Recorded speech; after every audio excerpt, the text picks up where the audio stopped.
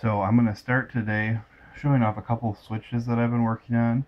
Um, I mentioned in the comments earlier that I took one of the Sanwa switches, or that I was going to take one of the Sanwa switches and put a uh, ball pit ball on it. And I did. It's uh, got a zip tie through there. It actually fits really nice. Um, I should have taken some pictures on the inside. Maybe I'll still do that before I uh, post this. But um, it's got a zip tie that goes through there. I've got some glue in the holes, which hopefully will hold the air in so it doesn't get squished too bad. And uh, yeah, if you can picture a row of these as buttons um, in the future, I think that's going to be a lot of fun. Um, the uh, other switches I kicked out is, uh, or are the uh, tilt switch. This has got a little ball bearing in it. It's for Arduino stuff, um, or, you know, pretty much anything that would have a tilt switch. So the ball bearing tilts to the bottom, and that touches the contacts together. Um, and then you've got what amounts to motion control.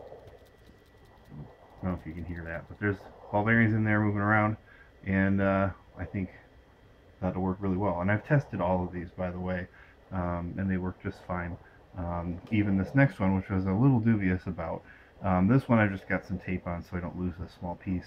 But this is a magnetic switch meant for like activating a light when you, um, you know, close a cupboard door or something. Uh, the reviews on Amazon said that it was normally open, um, even though the uh, description on Amazon said it was normally closed. Um, normally open is what I wanted. So when you touch these two things together, the uh, switch activates and uh, the button gets pressed. Um, so there's all kinds of stuff I can do with that. I can embed this um, switch inside of the toy, make a little pedestal for it to go onto or something.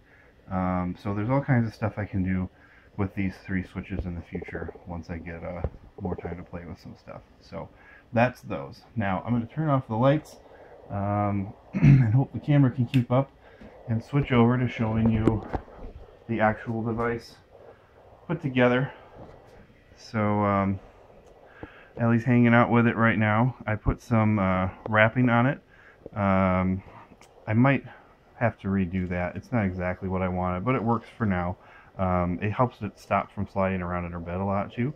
And so, um, yeah, it's pretty much what we showed last time um, with just the sharp bits kind of covered up. This stuff all works. She was playing with this earlier and um, the projector's on the ground there and it is projecting this game that we're just calling the uh, well we call it the rainbow drawing thing um, then we called it sun doodler. So I'm not sure exactly what we're gonna call it uh, long term. Um, but uh, yeah this is something my nephew made up and uh, took him just a couple hours. I asked him for basically an etch-a-sketch program that worked like Pac-Man so it can roll uh, over the edges as you go. So she's not really doing anything right now with it, but she left one of the switches in the moving position, although, let's see, that's that one. So, this is hard to, call, to video. I took a 360 photo, so you'll be able to see this. Um, but if I activate one, I think one of the foot switches is being pressed right now. So that is uh, making it move. Let's see which one is activated. Oh yeah, I think she smacked that one. So anyway, um, I'm going to try uh, Protus next time. Um, but I had this for now. And this was super simple. And um, I just wanted to use something that would let me see, you know, what she was doing. Um, so I can leave this in here and, uh, you know, come back a little bit later and see if she's moved anything, what her uh, kind of tendencies are and that sort of thing.